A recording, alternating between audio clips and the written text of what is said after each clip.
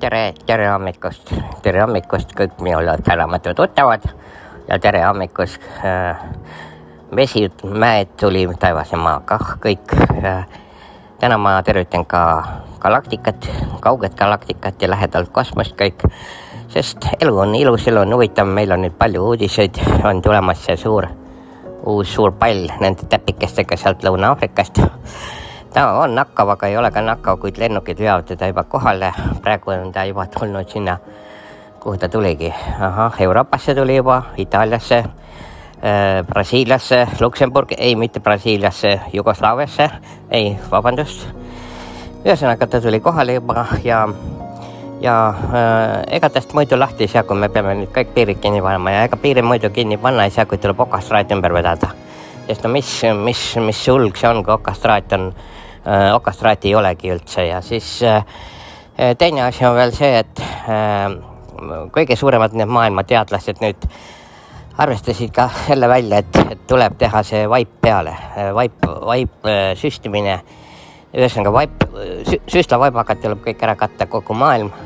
kogu see lapik, taldrik tuleb süstlavaibakaga ära katta, sest kui maa, muna oleks muna, siis vaipa peale panna ei saa, siis tuleks nagu kandoom peale tõmmata päriselt kohe niimoodi. Aga vaipakas saab ka asja ära ajada. ja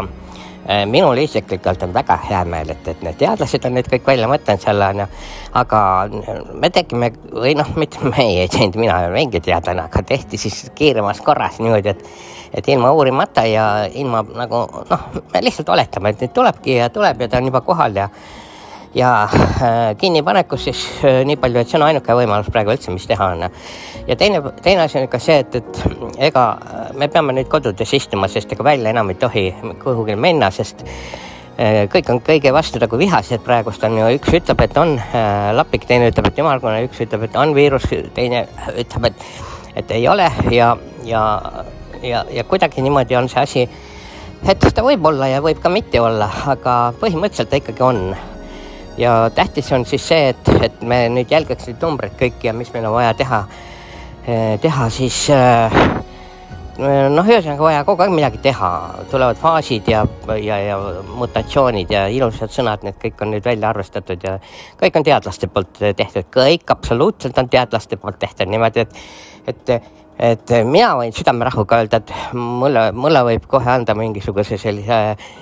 maailma aukodaniku tiitli, sellepärast et ähm, ma olen seda informatsiooni nüüd nii palju teadlastega arutanud ka juba, et ma võin täielikult otse rääkida. aitäh teile